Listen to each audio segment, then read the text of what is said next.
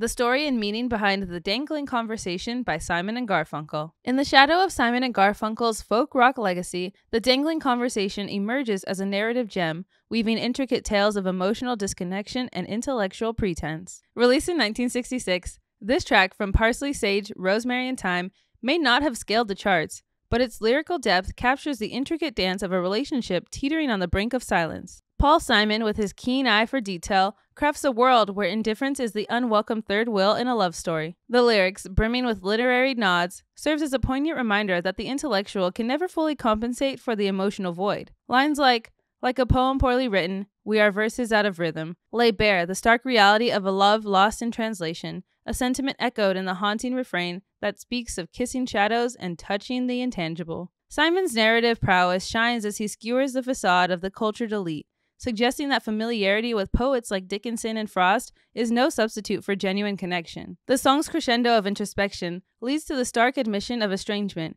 capturing the essence of a relationship dangling by the thread of superficial conversation. As the melody weaves through the borders of our lives, Simon and Garfunkel encapsulate the universal struggle to breach the walls we build around our hearts. Check the link in the description for more, and as always, like and subscribe for everything American Songwriter.